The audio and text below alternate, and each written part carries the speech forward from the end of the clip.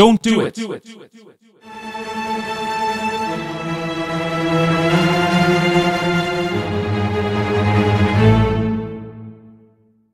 Hi, this is Sam, and I wanted to make a short video talking a little bit about Black Friday. As you might have seen, there are a lot of sales out there of plugins and instruments, and we all kind of feel like, I have to get it. It's so cheap. I would be crazy if I didn't buy it right now, and I have to buy it before this date or else. See, that's how they get you. Do you really need another library? Really? Most of us, and including myself, I'm totally guilty of this. I'm not pointing fingers at anyone. I'm just trying to give you some friendly advice. We feel like if I just buy this new plugin and this new library, then all my compositions would just sound so much better. It's not true. It just isn't true. I'm really sorry. You need to work on your skills. You need to work on your craft. You need to get better at this. You need to learn your libraries that you already have. If you look at really good composers, it's not the libraries they have, it's their skill. And most composers who have worked a while, they get libraries for free. They have a lot of them, or they maybe they review them on YouTube, what I know, and, and they get them as well. You don't want that many libraries when you're a beginner because it makes you confused. It makes you sit down and think about should I use this one or this one or this one instead of just writing your music right away. It's not good to have tons of libraries in the beginning, trust me. You need to focus on one, get good at that one, and then realize, oh, I need this as well. Then you buy one. Buy only a library when you absolutely know you absolutely need it. For example, you have a project and you're missing winds, or you're missing this solo cello, of course, you need to get it. Now is a good time. But don't buy it if you already have a WINS library or a string library and just feels like, oh, if I just get this one as well, it would sound better. Don't do it. Work your libraries. If you don't have a job yet, if you're not making money, if you don't have projects, there's no point. Let that come to you. When you get projects and jobs because of the skills you have, I guarantee you tons of libraries will come your way. Let's talk about some of the libraries that you could look into if you really need them okay? Really need them. I have said in the past that I'm not that interested in uh, Audio Imperia. Take that back a little bit.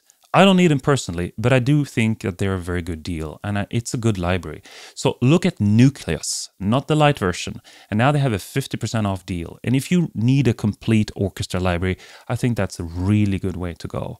It's it's a good library. it's a lot. They have a lot of good sounds. It's well put together.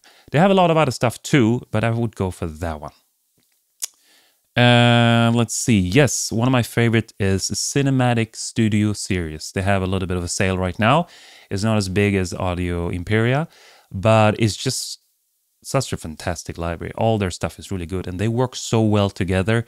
Uh, they have, don't have any wins at the moment, but they're coming, and I'm waiting for that. So I would look at them as well. Next, Cinesamples. They have a very good sale right now, and pretty much all of this stuff is very good. And I would use them, for example, maybe you're missing a section, maybe you're missing winds or something. It's really good just to complement uh, them. The best libraries, I think, are the brass and the winds, and the percussion is amazing. Still quite a lot of money with the sales, but you know it's still a lot cheaper. So there might be something you want to take right now. Uh, what else? 8Dio has a 55% off right now, and I would con concentrate on their Century strings and brass. The Century series, very, very good stuff uh, that's a good deal. If you have bought their stuff before, they might even give you a higher rebate up to 65% off. So I will look into that. Lastly, uh, Composer Cloud. Now, this is a tricky one uh, because I do recommend it and I don't recommend it. If you have nothing, if you really want to upgrade from um, like a very basic library, then it's a cheap deal. Uh, you get in instant access to a lot of instruments. Think about this though it's a lot of instruments. You will get too many choices, actually. Uh, you have to download it all or buy their hard drive, and that can take forever if you, if you have a not so very fast internet. Uh, I like Hollywood a lot, but the more I think about it, it's geared towards the experienced composer. So it's can be quite overwhelming if you're new to this. Okay, I recommend it. It sounds good, and it's a it's a good deal. But think about that. I do have a video about how you can get along with this library a little bit better. And also, uh, the subscription model, when you stop paying, you lose all access. You don't have anything. If you pay every month for years, maybe it's not a good deal in the in the long run. It's better to actually buy the libraries. Uh, if you go for the Hollywood, I would uh, buy the Diamond Edition, or I would concentrate on buying the strings and the brass section. Um, yeah, the percussion is good as well. The winds is not that good. It's okay as a package, but it's not the best out there. Okay, I hope that helps you. Really think about it. Do I really need this library? Save your money. Focus on your talent. Focus on getting better. That's what you really need. I know it's uh, tough news that most channels don't focus on. Most channels focus on buy, buy, buy, buy stuff. Okay? That's okay. But think about it. All right. This is Samuel signing out. Hope you have a great day. See you soon.